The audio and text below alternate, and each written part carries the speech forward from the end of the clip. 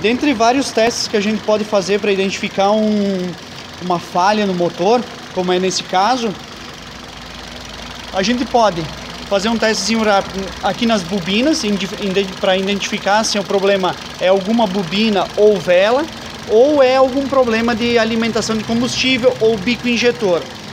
Com o osciloscópio conectado, eu venho aqui ó, e pelo campo magnético da bobina, eu pego o sinal de ignição. Ó.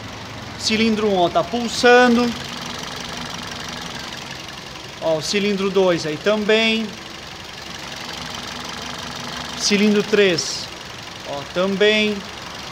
Então, aqui mostra para mim, ó, que eu tô tendo um sinal de ignição, a minha bobina tá pulsando, tá acontecendo a faísca, então aqui já tá eliminado o, o, o, já, já foi feito o diagnóstico, já foi eliminado aqui, eu já identifiquei que não tem problema nessa parte aqui, então eu posso já saber que o problema provavelmente está aqui nos bicos injetores. Claro que tem outros testes que podem ser feitos, mas aqui, ó, rapidinho, sem desmontar nada, eu já identifiquei que a parte de bobina e vela tão legal, tá pulsando, então provavelmente aqui seja os bicos injetores o causador da falha desse motor. Aqui, ó, os injetores, ó. Aqui em cima, ó, esse aqui.